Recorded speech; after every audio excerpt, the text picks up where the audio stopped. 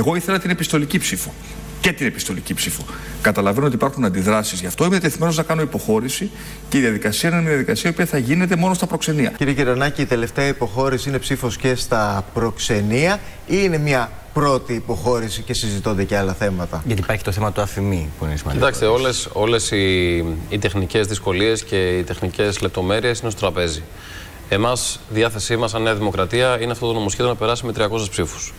Θεωρούμε ότι υπάρχει βάση συνένεση αυτή τη στιγμή στο πολιτικό σύστημα. Όλα τα κόμματα επί της αρχής έχουν τοποθετηθεί υπέρ του δικαιώματος ψήφου σε Έλληνες του εξωτερικού, τους άλλους προβλέπεται και συνταγματικά. Και έχουμε δηλώσει πολύ ανοιχτά, διατεθειμένοι να δούμε πάνω σε ποιες λεπτομέρειες θα υπάρξει η μέγιστη δυνατή συνένεση. Αυτό αφορά και την επιστολική ψήφο, αφορά και το αφημί, αφορά και όλα τα υπόλοιπα ε, σκέλη της πρότασης.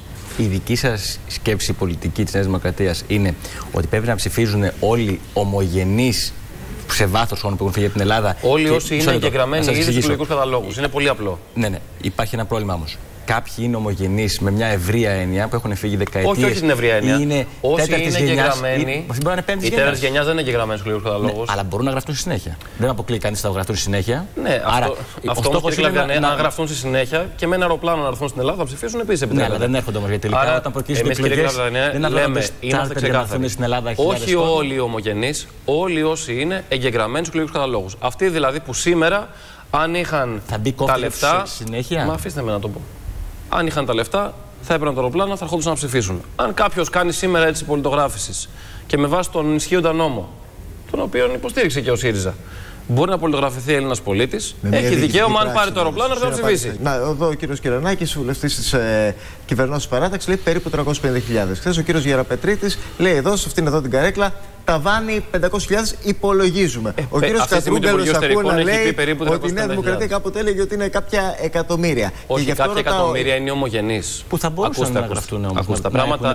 εκλογικού καταλόγους. Δεν μπορείς να σε εμποδίσει. Μα κανένας. ούτως ή άλλως, κύριε Κλαβιανέ, μπορεί σήμερα να γραφτεί κάποιος που είναι τέταρτη γενιάς να κάνει έτσι πολιτογράφησης. Αυτός ο άνθρωπος, αν έχει ε, κάνει έτσι πολιτογράφησης και σε λίγα χρόνια του εγκριθεί αυτή η έτσι πολιτογράφησης, μπορεί να πάρει το αεροπλάνο να έρθει να ψηφίσει. Ναι, με, δεν μια, μπορεί. με μια διαφορά όμως. Όχι, δεν μπορεί. Ποια διαφορά; Το Μπορεί κάνουν να ελάχιστοι. ψηφίσει. Ξέρετε πολλούς ανθρώπους που όταν προκυρήσονται εκλογές μπαίνουν στις εξαιρετικέ Ε, μα αυτό εταιρείες. θέλουμε να λύσουμε, κύριε Κλαβιανέ. Εμείς θέλουμε οι Έλληνες του εξωτερικού, εμείς θέλουμε οι Έλληνες του εξωτερικού να ψηφίσουν. Ο Εγώ τέταρτη δεν γενιάς καταλαβαίνω και αυτός που είναι 20 για χρόνια. ποιο το ίδιο. λόγο, δεν καταλαβαίνω για ποιο λόγο δεν θέλουμε να δώσουμε κίνητρο σε ομογενείς στο μέλλον να έχουν ένα, ε, μια επιπλέον διάθεση να πολιτογραφηθούν Έλληνες πολίτες. Η προσωπική μου- Δεν θέλουμε δηλαδή να δώσουμε ένα κίνητρο σε αυτούς τους ανθρώπους να έχουν δεσμούς με τη μητέρα πατρίδα.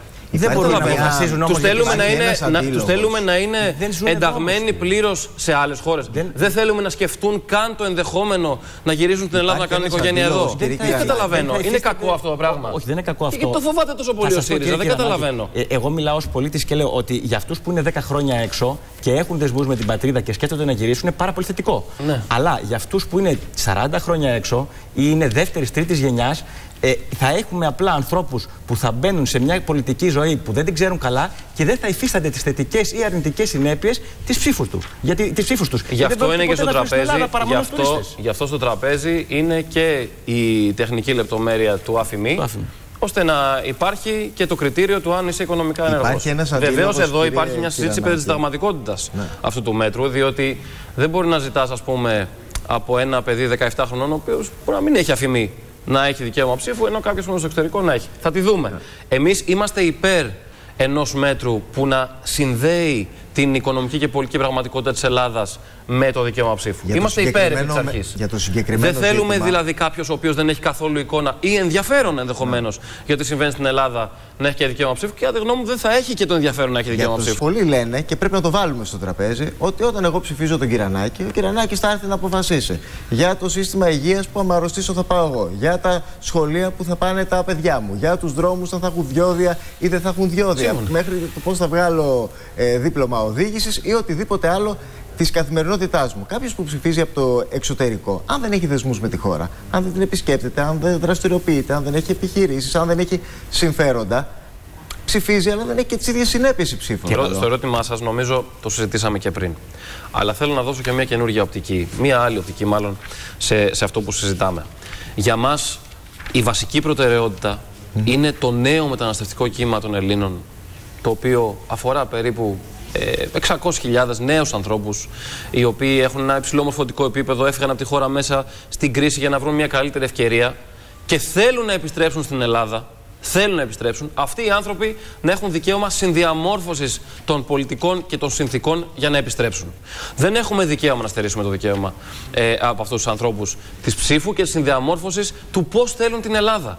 Ένας φοιτητής, ο οποίος πήγε στο Λονδίνο για να σπουδάσει και βρήκε μια καλύτερη δουλειά εκεί, αλλά σκέφτεται ότι εγώ αγαπώ την Ελλάδα, θέλω να γυρίσω. Για ποιο λόγο να τους στερήσουμε το δικαίωμα ψήφου; Λοιπόν, εμείς είμαστε ανοιχτοί. Θέλουμε και ο ΣΥΡΙΖΑ να έρθει στα, ε, στα πλαίσια μιας ευρύτερης συνένεσης να περάσει με 300 ψήφους, να έχουμε όλοι μαζί την ιστορική αυτή ευκαιρία να πούμε στους Έλληνες του εξωτερικού ότι σας δώσαμε αυτή την ευκαιρία, αυτό το δικαίωμα και χωρίς κομματικές αντιπαραθέσεις να πούμε ότι η Βουλή το 2019 λίγο πριν το 2020, έδωσε αυτήν την ιστορική ευκαιρία στου Έλληνε του εξωτερικού. Όλοι μαζί. Για την ανακοίνωση της Ονέτ Πεντέλης. Υπήρξε ναι. μεν η διαγραφή, αλλά υπήρξαν και στελέχοι όπως ο κύριος Πλεύρης που είπαν ότι εκφράζει προβληματισμούς που υπάρχουν.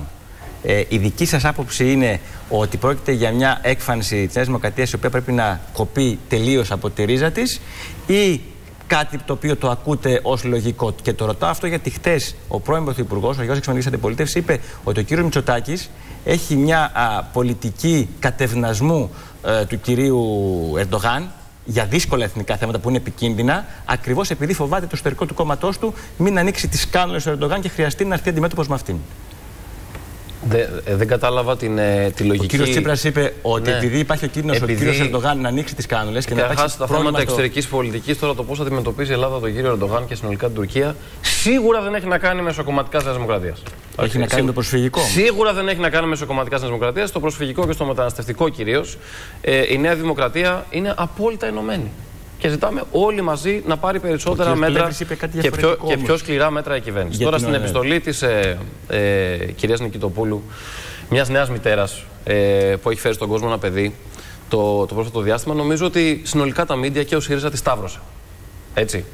Εγώ δεν λέω ότι. Τρυφερά αυτά... το προσεγγίζετε εσείς. Πολύ τρυφερά, γιατί υπάρχει διαγραφή, έτσι δεν είναι; Τι είναι τρυφερά; Η διαγραφή ήταν από την Νέα Δημοκρατία. Από, όσο, από όσο ξέρω, η ΟΝΕΔ ε, την πάρε στο πειθαρχικό. Κατά τη γνώμη μου, δεν παραπέμπει στο πειθαρχικό ε, μια κοπέλα η οποία σαν νέα μητέρα εκφράζει κάποιες ανησυχίες, τις οποίες τις ακούμε τώρα, όλοι μας ακούμε στις τοπικές κοινωνίες. Σίγουρα ο τρόπος με τον οποίο γράφτηκε η επιστολή θα μπορούσε να είναι πολύ πιο πολιτικός καλύτερος. Αλλά θέλω να ρωτήσω, θέλω να ρωτήσω κύριε Κλαβιανέ, εσείς από, αυτά, από αυτά δηλαδή. που είπε, εσείς τι βρίσκεται ρατσιστικό; Εξαιρετικά ρατσιστικό και επικίνδυνο και θεωρώ ότι υποκρύπτει μια φασίζουσα συμπεριφορά. Τι πράγμα από την επιστολή Ένας νέος πολιτικός που έχει σχέση με την κυβέρνηση ως μέλος της Εθνική Ομάδας να την απορρίψει πλήρως. Γιατί είπε, λέει, λέει για, παιδάκια, τα παιδιά παιδάκια που θα έρθουν τα οποία δεν θα είναι παιδάκια στην ψυχή όπως τα δικά μας και που θα ε, κάνουν πειράγματα στα δικά μας κορίτσια και που θα μολύνουν με μικρόβια τα δικά μας παιδιά. Αυτός ο τρόπος αντιμετώπισης παιδιών που έχουν ανάγκη. Γιατί, δεν είπε γιατί, γιατί όταν, μιλάμε, όταν μιλάμε για παιδιά 15 και 12 ετών, είναι προσφυγόπουλα δεδομένο, δεν είναι μετανάστες. Το ότι υπάρχει αυτός ο τρόπος αντιμετώπισης είναι φασίζον. Κύριε Κλάβδια, ναι, αυτό, αυτό, είναι, αυτό που είπατε είναι μια αναπαραγωγή του τι έγραψε η Αυγή. Όχι, αυτό που πιστεύω ναι. εγώ. Λυπάμαι λοιπόν, πάρα πολύ. Η επιστολή, δεν με επιστολή μέσα. που δεν δουλεύει στην Αυγή, έτσι δεν είναι; Η επιστολή, όχι, σας λέω, είναι αναπαραγωγή αυτό που είπε η Αυγή. Αυτό σας είπα. Δεν σας είπα, δουλεύετε στην Αυγή. Αυτό που είπατε δεν γράφτηκε στην επιστολή. Στην επιστολή γράφτηκαν ερωτήματα. Και αυτά που είπα. Υπάρχουν ανησυχίες αυτή τη στιγμή στις τοπικές κοινωνίες. Καλό να μην κλείνουν τα αυτιά μας στα μάτια μας. Καλό να εξηγούμε.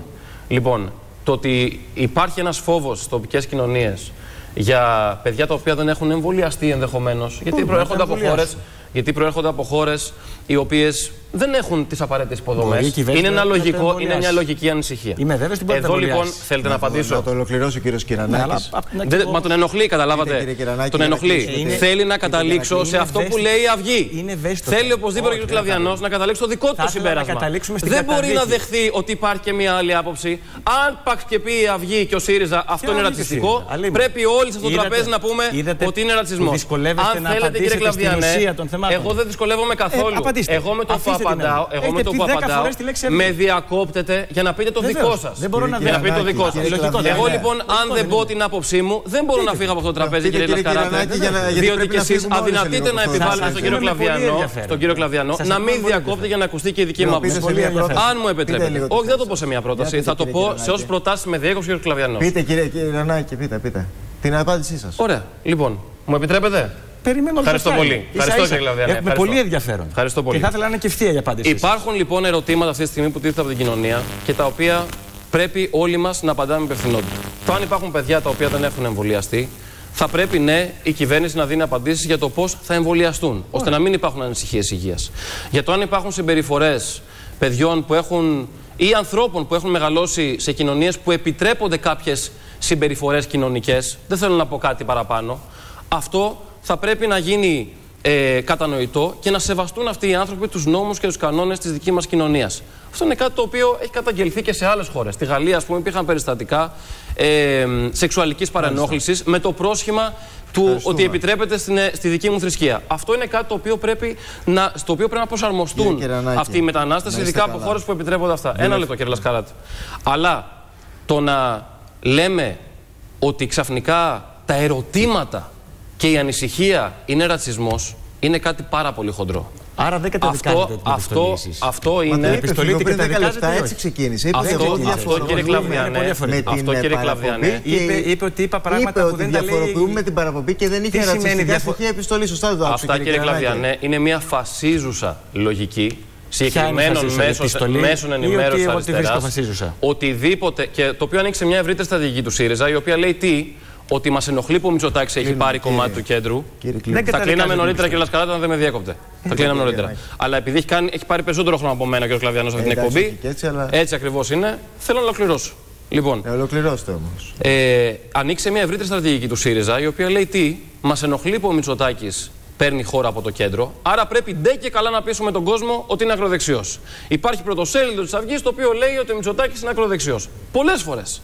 Λοιπόν, αυτή η στρατηγική εξυπηρετείται από μια προσπάθεια μέσω ενημέρωσης που πρόσχεται στην αριστερά, που πρόσχεται στο ΣΥΡΙΖΑ, να χαρακτηρίζει ως ρατσιστικό και ακροδεξιό οτιδήποτε δεν τους βρίσκει σύμφωνο. Θέλουμε όλοι μαζί να αντιμετωπιστεί το μεταναστευτικό. Θέλουμε οι κοινωνίες μας να έχουν απαντήσεις και να, να είναι ήσυχες ότι όλα θα είναι με βάση τους κανόνες και τους νόμους. Κύριε Κυρανάκη, για Και τους προσφυγόπουλα. δύο σας ευχαριστώ Μα τα πολύ. προσφυγόπουλα για να φιλοξενηθούν σωστά, κύριε Κλαβιανέ. Μεταναστευτικό είπατε. Νέας Για τα Δημοκρατίας. προσφυγόπουλα για να.